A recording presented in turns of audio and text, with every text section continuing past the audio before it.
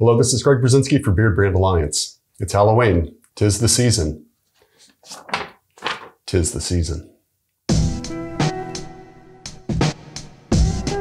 So, people who saw my last video um, about hair through the ages or the history of long hair, uh, a couple of people commented that it was just an excuse to do cosplay.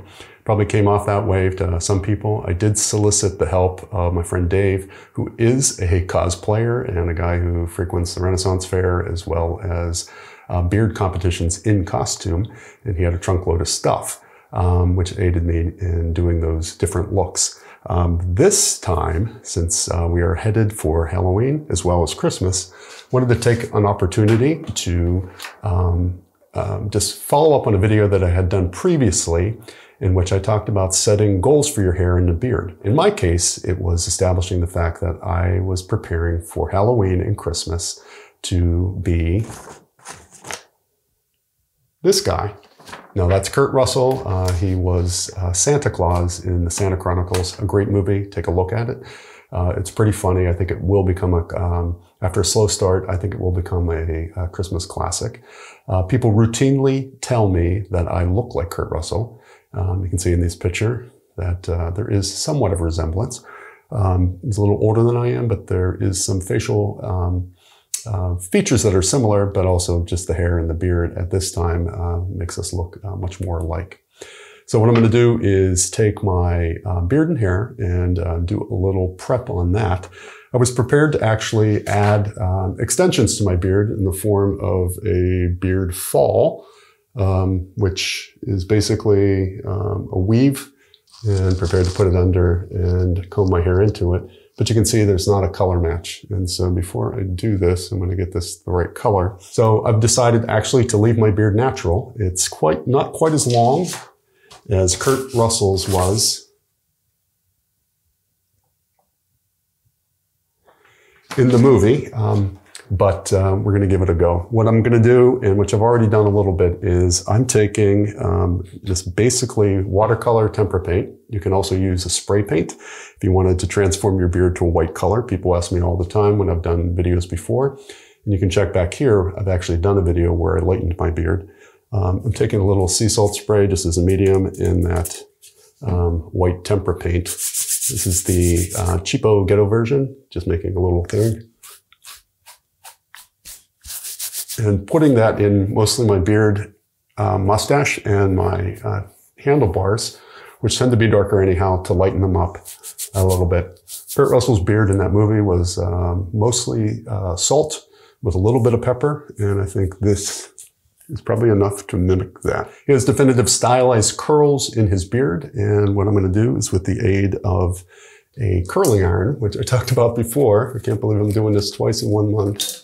So I'm using this big barreled uh, curling iron. You could also use a round brush and a hair dryer just to make this a little tighter looking.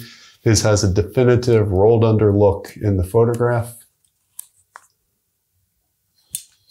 But I want to roll it up under too much because that would shorten the look. I want to make it uh, pretty long, but generally make it um, look like it has a definitive shape, like a true uh, Santa Claus. So I'm taking this very small curling iron, picked this up, it was $15.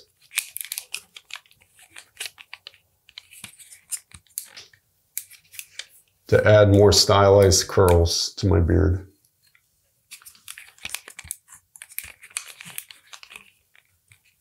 curling iron shut off. They have automatic shut offs.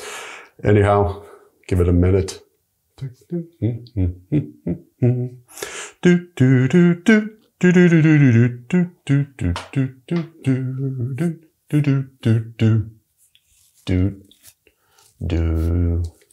So I'm now using a small barreled uh, curling iron. Um, this would be hard to do with a round brush just because you can't roll it in and get it tight enough. Um, you can see in this image, uh, Kurt Russell has definitively uh, stylized curls.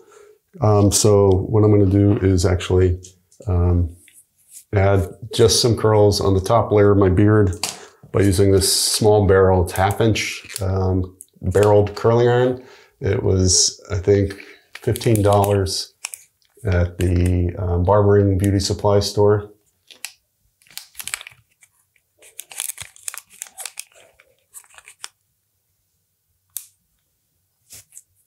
Once again, you're not doing this every day. So like the, um, are you burning your hair? Um, that, I'm not keeping it on long and I'm not doing this every day. I think if your hair is conditioned, my beard was conditioned prior, and if you have a layer of conditioning on your hair, it actually will protect it from any damage from heat. But once again, be careful um, that uh, you're not uh, frying your hair. Um, I think it would take a lot to actually do that. Beard hair is pretty resilient uh, and much coarser than the head on your hair, and so um, I don't think uh, we'll have that danger.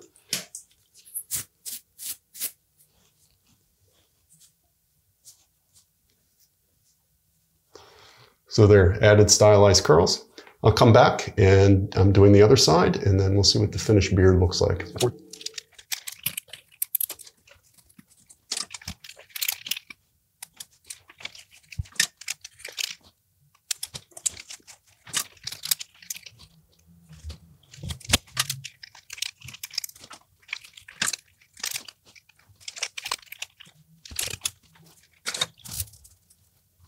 So there we go. That's uh, what I'm going to do to my beard. Um, my mustache is pretty natural right now with the curls. Um, Kurt Russell has a handlebar uh, rocking a little bit in here. I'm actually just going to take a little bit of styling balm and uh, like put a little bit on this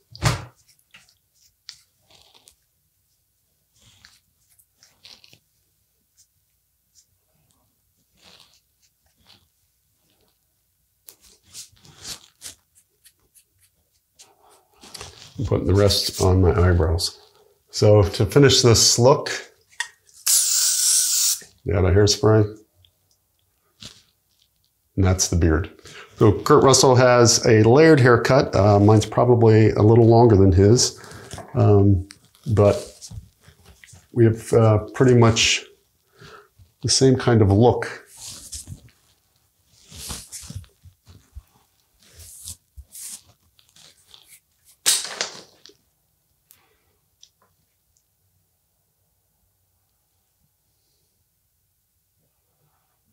So we have Greg Berzinsky as Kurt Russell in Santa Chronicles.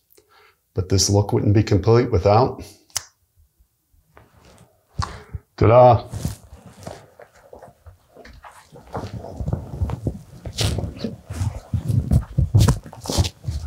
So there we go. It's uh, Greg Berzinsky as Kurt Russell in the Santa Chronicles. Um, I think the beard looks okay uh, without the fall. So I think we're going to go with this. So as I said, this was a test. We'll make some tweaks uh, to the hair color, I think, and we'll finish up the costume with the hat and the gloves, the whole bit.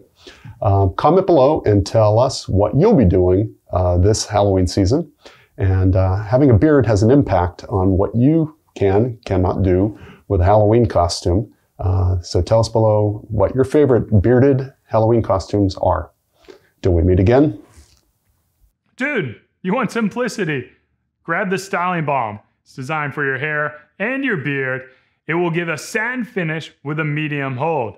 No, it's not a conditioning product, it's a styling product. Styling balm over at beardbrand.com.